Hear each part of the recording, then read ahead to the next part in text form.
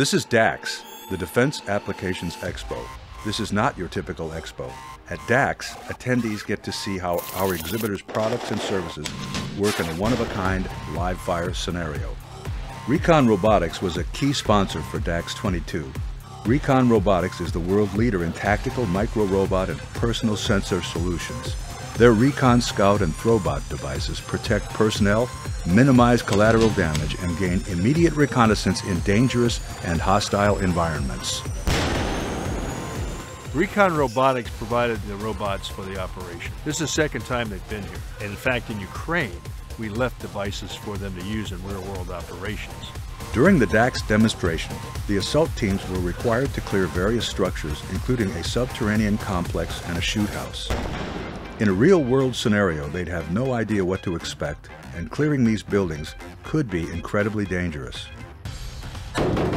In order to solve this dilemma, the assault team could throw its Recon Robotics Throwbot from far away, bounce it off concrete walls, or put it right in an enemy line of fire.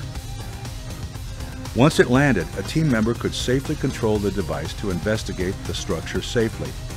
The robot also provided live feedback to the team so they could see what awaited them and assess the risks of clearing the room.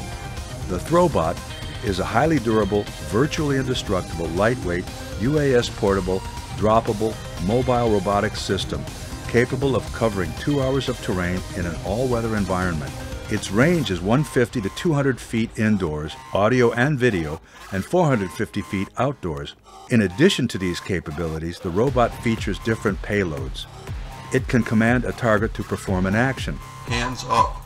It can also be equipped with a distraction device to assist the team in the moment of breaching.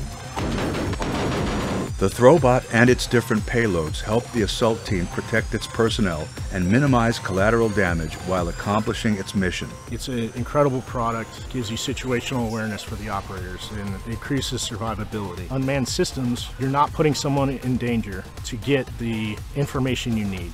DAX is a one-of-a-kind defense technology event, providing a live fire demonstration with a real-world scenario hands-on experience, and face-to-face interaction with leaders of the mobile training team and assault force.